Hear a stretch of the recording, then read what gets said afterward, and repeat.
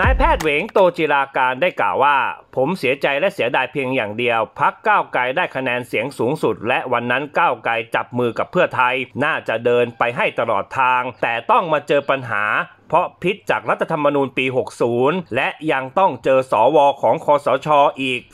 250 คน ที่มาขัดขวาง ก็เลยทำให้โอกาสที่ก้าวไกลจะจัดตั้งรัฐบาลต้องเสียหาย และพักเพื่อไทยแทนที่จะยืนหยัดเป็นพันธมิตรกับก้าวไกลกับข้ามขั้วถึงกับไปจับมือกับพวกสืบทอดอำนาจจากคอสชทำให้การทวงความเป็นธรรม และการรับรองเขตอำนาจศาลอาญาระหว่างประเทศจึงยากขึ้นพรรคก้าวไกลเนี่ยเป็นพรรคที่ได้รับคะแนนเสียงเลือกตั้งมากที่สุดของประเทศ 10 14.4 ล้านเสียงนะครับ เพราะฉะนั้นเนี่ยผมถือว่ามีความชอบธรรมที่ประชาชนทั้งประเทศมอบให้กับพรรคก้าวไกล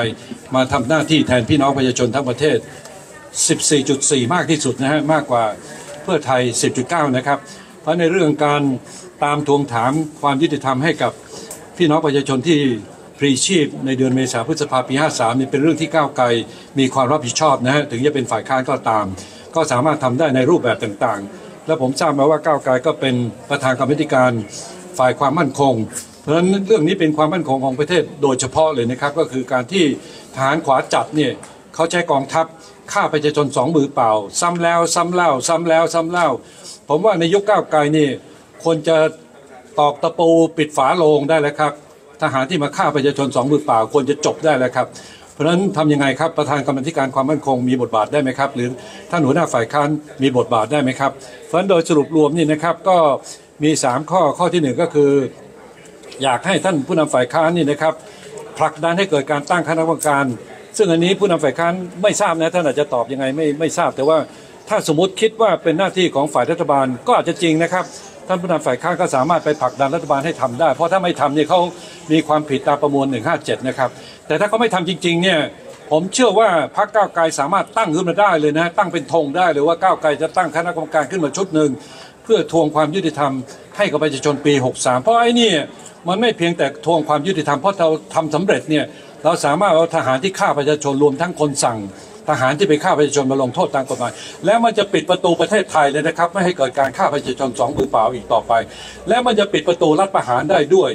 เพราะบรรดาสอชอทั้งหลายนั่นแหละกลายรูปมาเป็นคอสชและประการสุดท้ายนี่นอกจากแก้กฎหมายสองฉบับที่ผมได้เรียนเมื่อสักครู่นี้แล้วนะครับ ก็คือว่า ให้แก้กฎหมายให้ทหารที่ทำผิดอาญาต่อพลเรือนต้องขึ้นศาลพลเรือน และแก้กฎหมายให้นักการเมืองที่ทำผิดอาญาต่อพลเรือนต้องขึ้นศาลพลเรือนแล้ว นี่คือข้อที่สองข้อที่สามก็คือว่าประกาศรับรองเขตอำนาจศาลอาญาระหว่างประเทศ เฉพาะกรณีเมษาพฤษภาปี 53 ต้องเรียนผู้นำฝ่าย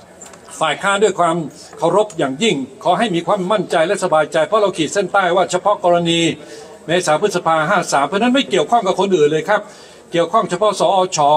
กับรัฐบาลอภิสิทธิ์เวชชาชีวะเท่านั้นครับ เพราะนั้นจะมีพวกขวาจัดหรือมีพวกที่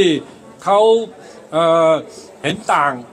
นะแล้วก็บ้าคลั่งอย่างรุนแรงจะมากล่าวหาว่าไปยุ่งเกี่ยวกับสถาบันไม่เกี่ยวเลยครับเพราะมันขีดเส้นใต้เฉพาะกรณีเมษาพฤษภาปี 53 เพราะนั้นเกี่ยวข้องกับสอชแล้วก็รัฐบาลพิสิทธิ์เวชชาชีวะโดยตรงพบ ก็ขออนุญาตกราบเรียนท่านหัวหน้าพักฝ่ายค้านเพียงเท่านี้นะครับ